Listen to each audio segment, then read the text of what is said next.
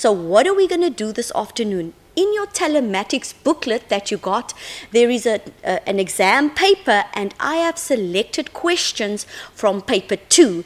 And the questions that we're going to do is a statistics question.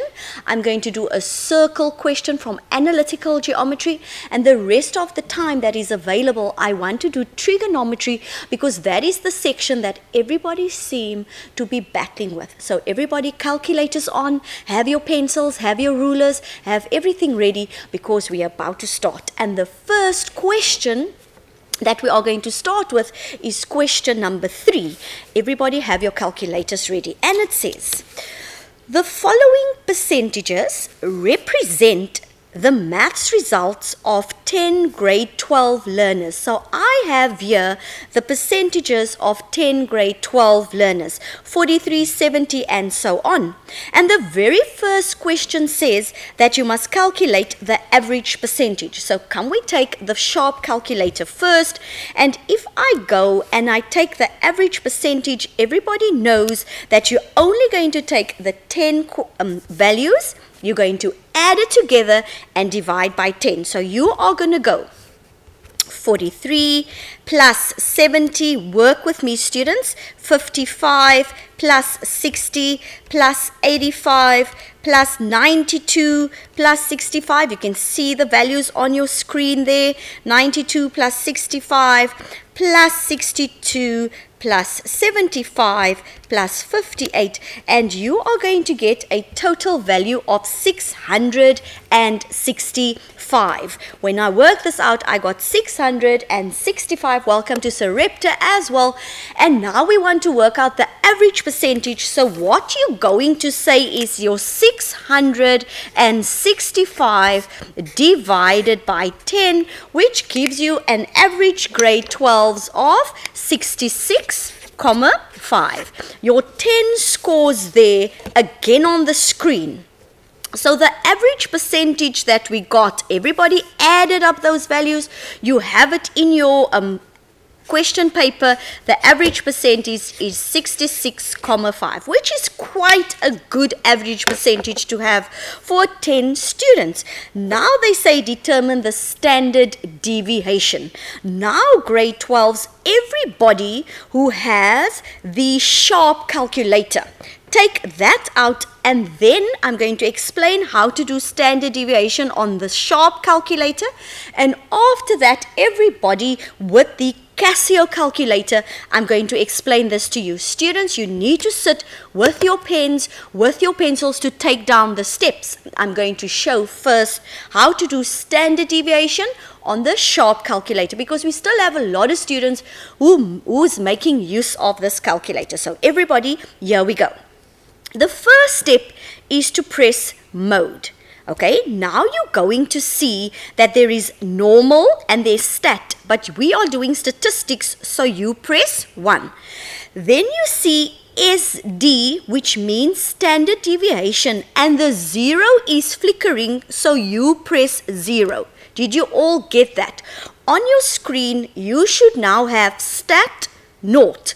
Now you're going to key in your values. Can you all see the values on the screen there? The first value is 43. So I say 43 and you put it into your memory. So you say memory plus, M plus. Then you key in 70 and you say M plus again. Then you key in 55, you say M 60, you are all doing this with me. Don't just watch, do it. So you get 60 and you say M plus. Everybody works with me. 85, M 92, M plus. Remember, when you're saying M plus, you are putting it into your memory. 65, M plus, 62, M plus, 75, M plus. It should now say data set 9, which means you've got one data still to key in, which is 58, and you say M plus. Now you've keyed in all your data grade 12s, and what you're going to do now, the only thing that you press on this calculator is the alpha button. Everybody presses the alpha button and then you go to alpha 6 because that is standard deviation. Press 6 and then equals. So you should have on your screen that the standard deviation is 13,77. Remember the symbol for standard deviation is a symbol looking like that and like that. That is the symbol for standard deviation. Look at that. So that is why I pressed alpha 6. Now for all the students who are making use of the Casio calculator. Um, the majority of students are using this calculator now, but I just did the sharp calculator for the students who still have the sharp calculator. So all Casio calculators are out. You are sitting, you're not talking to your friends, you are sitting and looking at the steps. Okay, I'm switching my calculator on. My calculator is in normal mode and I press mode setup and it says one comp, two stat, three table. What do you want? You want to go into stat mode, so you press 2.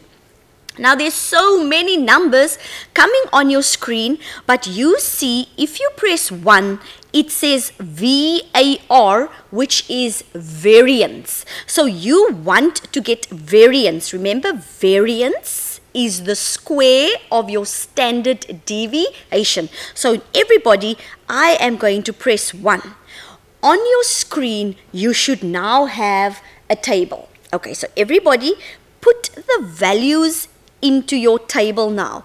On the screen, there's the values. I've got 43. So you say 43. Now, in the sharp, we said memory plus. But on the Casio, you just press is equal to. Can you see? Now, key in the 70 and press is equal to every time that you put in a value on the Casio, you press is equal to. Every time that you put a value on the sharp, you say memory plus. So I have now keyed in 43, I've keyed in 70, I'm now going to key in 55. What must I press? Equal to. Then I'm going to key in 60, equal to. Then I'm going to key in 85, equal to. 92 equal to, don't miss one, 65 equal to, 62 equal to, 75 equal to, and I've got one more data to key in, one more number, which is 58 equal to. Now you have keyed in all 10 values. You can see that the 58 is opposite the 10. So now you know you didn't skip one. Now what do you do after this? You clear your screen. Remember we didn't do it on the sharp calculator. We only on the sharp calculator pressed alpha 6 but in the Casio calculator, you first need to clear your screen. How do you do that? You press AC. It's on the orange button. So everybody with the Casio calculators, press AC with me. I press AC. Can you see? Your screen is now completely cleared. Okay, so everybody did that. I'm going to wait for you. After that, you press Shift. So put your hand on Shift as well. I press Shift. Then you see it says Stat on number 1 and you press 1. Now look on your screen. Now what do you see? 1 is type, 2 is data, 3 is sum, 4 is variance. Everybody has different numbers, but just look for VAR. VAR on my Casio calculator says 4, so I will press 4. Check what it says on your calculators. VAR on my one, I press 4. Okay, and then I know that this is the symbol for standard deviation, so I look and I look and I look and I see that mine is it says then on this one it's X and then something looking like that. Remember or it can have that in front or it can have this. You look for that symbol. I'm waiting for everybody to look for that symbol. On my calculator I must now press 3 and I've got my standard deviation.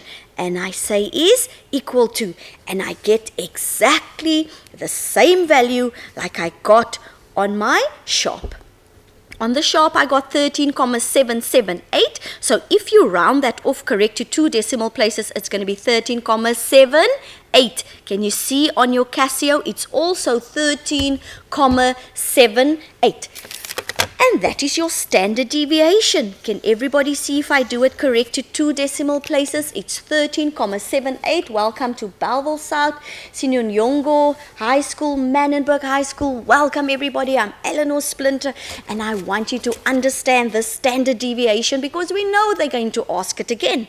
So we got our average percentage which is 66,5. We got our standard deviation which was 13,75. I hope you all worked with me and now we come to the very popular question.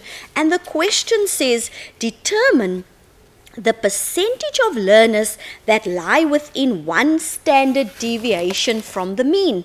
How many learners lie within? Remember, it says within one standard deviation. So, what you're going to do is you are going to take, listen very carefully, your mean, which we worked out. Remember, your mean is your average. Another name for average is mean.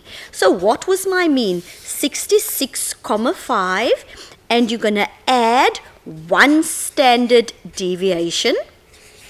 Now when I added that and I worked that out, I got 80 comma 27. That is the average or the mean plus one standard deviation and you are going to take the average minus one standard deviation.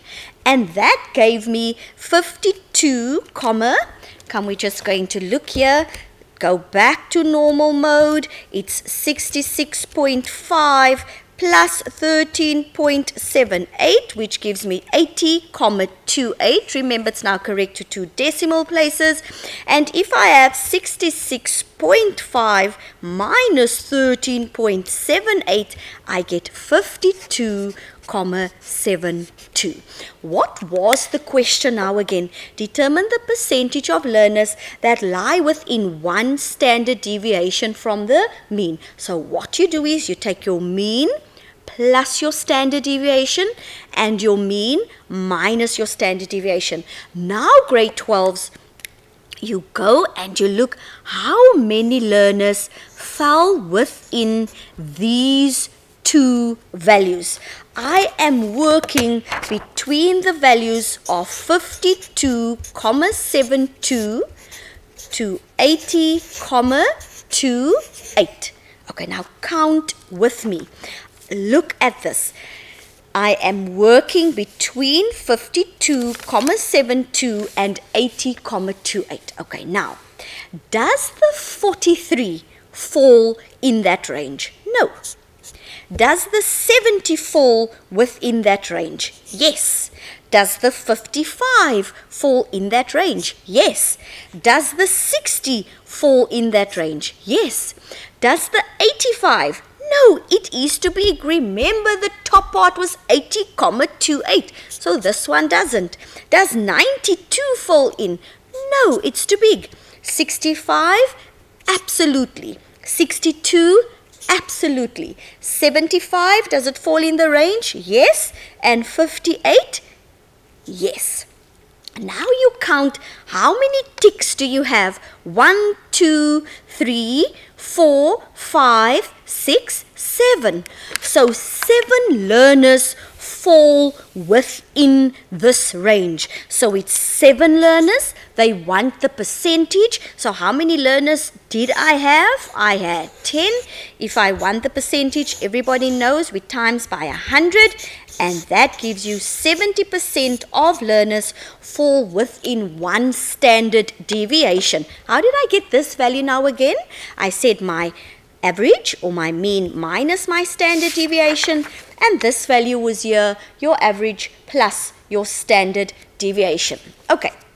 I see there are lots of schools logged in. I see there are lots of students logged in. Remember that you can't just sit. It's paper two. You need to work with me. I'm going to try and go very, very slowly so that you can understand and you can SMS your questions through to me because I really, really want you to have a good paper two. Now that was the statistics question that I took from your question paper. What did we do? Standard deviation, we did mean, and we did how many learners fall within one standard deviation.